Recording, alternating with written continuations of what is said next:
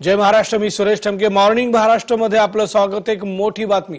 देशातील सर्वसामान्यांना केंद्र सरकारनं झटका दिलाय. बँकांमधील ठेवींच्या उत्पन्नावर गुजराण करणाऱ्या ज्येष्ठ नागरिक आणि सामान्य गुंतवणूकदारांना केंद्र सरकारनं झटका दिलाय. पब्लिक प्रॉव्हिडंट फंडासह अल्प बचतीच्या गुंतवणूक योजनांवरील व्याजाला कात्री लावण्यात आली आहे यामुळे कोट्यवधी गुंतवणूकदारांना झटका बसलाय. गेल्या शेहेचाळीस वर्षात पहिल्यांदाच व्याज दर सात टक्क्यांच्या खाली घसरलाय. सुधारित कामगार कायद्यांच्या अंमलबजावणीबाबत सरकारनं हा निर्णय घेतलाय. अल्पबचतीच्या गुंतवणूक योजनांचे सुधारित व्याजदर आजपासून लागू होणार आहेत. ते तीस जून पर्यंत लागू राहतील.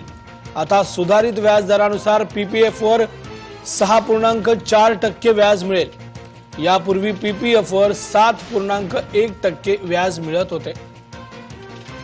नॅशनल सेव्हिंग सर्टिफिकेटवरील व्याजदर सहा पूर्णांक आठ टक्क्यांवरून घटून पाच पूर्णांक नऊ टक्के इतका करण्यात आलाय. सुकन्या समृद्धी योजनेवर आता सहा पूर्णांक नऊ टक्के व्याज दिलं जाणार आहे. यापूर्वी या योजनेत सात पूर्णांक सहा टक्के व्याज मिळत होतं. बचत ठेवींचा व्याजदर चार टक्क्यांवरून तीन पूर्णांक पाच टक्के करण्यात आलाय.